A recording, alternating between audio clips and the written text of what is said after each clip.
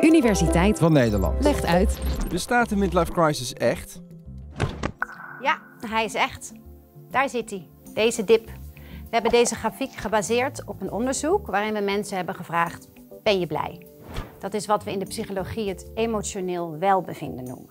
En dat is eigenlijk gewoon je dagelijks gevoel van geluk en tevredenheid. En die dip die zit ergens tussen je 40ste en je 60ste. Maar dat is natuurlijk maar een gemiddelde. Er zijn ook mensen die hebben helemaal nergens last van. Maar er zijn ook mensen die echt in deze periode minder gelukkig zijn. En bij zichzelf denken, is dit het nou? Iedereen beleeft het midden van het leven op zijn of haar eigen manier. Maar je zou wel kunnen zeggen dat de meeste van ons in die levensfase tegen vergelijkbare dingen aanlopen. Je zou je je leven kunnen voorstellen als een weg die je aflegt. En jijzelf als de auto. En die neemt onderweg steeds meer bagage met zich mee. Ervaringen, vaardigheden, contacten, noem maar op. Het begint met je ouders.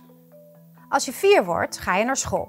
Krijg je eerst een stukje opleiding. Er ontstaan steeds meer vriendschappen. Je wereld wordt stapje voor stapje een beetje groter. Misschien ga je naar een sportclub of een andere hobbyclub. Daarna ga je naar de middelbare school. En misschien nog een vervolgopleiding doen. Die sociale kring wordt alsmaar groter. Misschien neem je voor het eerst een bijbaantje.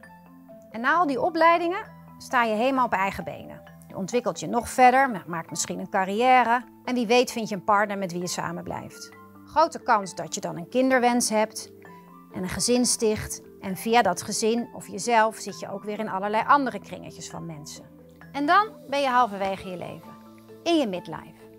En eigenlijk zit je op je piek. Je hebt het helemaal voor elkaar. Je hebt je carrière gemaakt. Je hebt een druk gezinsleven. Je hebt veel sociale contacten. Je hebt nog nooit zoveel connecties gehad met de wereld om je heen. Het leven heeft zin. Maar tegelijkertijd is dit misschien ook het moment dat je je realiseert dat er niet zo heel veel meer bij komt op dat wagentje. En dan ga je misschien nadenken: heb ik het wel goed gedaan? Heb ik de juiste keuzes gemaakt? En die vragen en die twijfel, die worden nog eens versterkt omdat er in deze fase de eerste tekenen van verval zichtbaar worden. Je haren worden grijs, krijg rimpels, misschien een leesbril. Vrouwen komen vroeg of laat in de overgang. En je ouders, die er altijd voor jou waren, die hebben misschien nu wel zorg nodig en worden de rollen omgedraaid. En met die hobbels en twijfels en gedachten moet je omzien te gaan, terwijl je ook al die taken en verantwoordelijkheden en sociale rollen hebt.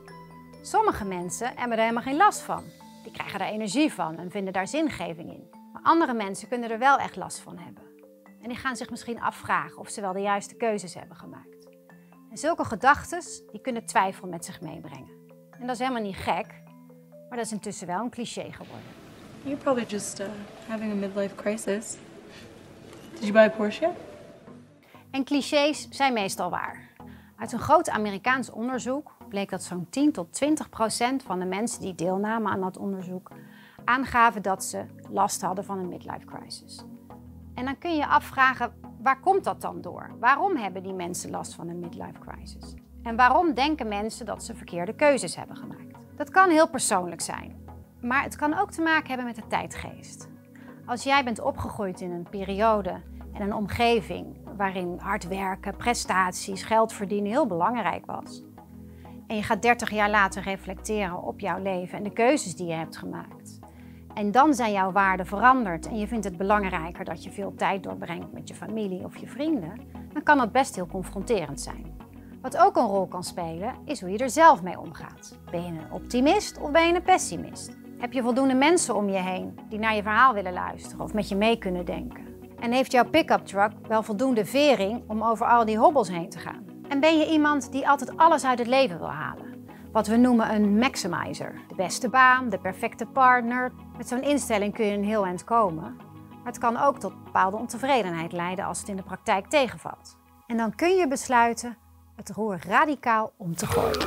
Je verlaat je partner, of je zegt je baan op, of je begint een bed and breakfast in Portugal, of misschien koop je een oude camper en ga je de wereld rond. Dit kunnen trouwens ook best uitgestelde beslissingen zijn, want zo halverwege je leven kun je ook het gevoel hebben: het is nu of nooit.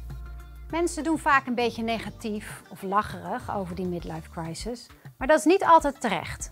Soms kan het ook goed zijn om eens een keer de boel om te gooien. Bijvoorbeeld als je het gevoel hebt dat je geen ruimte meer hebt om je eigen keuzes te maken of om verder te groeien. Wij doen bij de Open Universiteit onderzoek naar die midlife en wij kijken waar nu die dip vandaan komt. Uit ons onderzoek blijkt dat dat inderdaad te maken heeft met die twijfel. Het kan ook te maken hebben met dat je het gevoel van grip op je eigen leven bent verloren. Als mensen gebukt gaan onder de zorg voor hun ouders, voor hun kinderen, het werk. En hoe groter die belasting en hoe groter die twijfel, hoe groter de kans is dat je in die dip terechtkomt. Terwijl je in deze fase juist wel heel veel kent en kunt.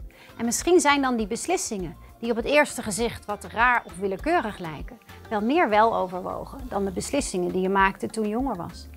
Waardoor die grafiek na een tijdje toch weer omhoog gaat. Een vraag die ik als pijnonderzoeker voortdurend krijg. Wie kan er nou beter tegen pijn?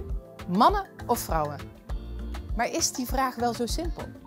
In de volgende aflevering vertel ik je de nieuwste inzichten uit de wetenschap.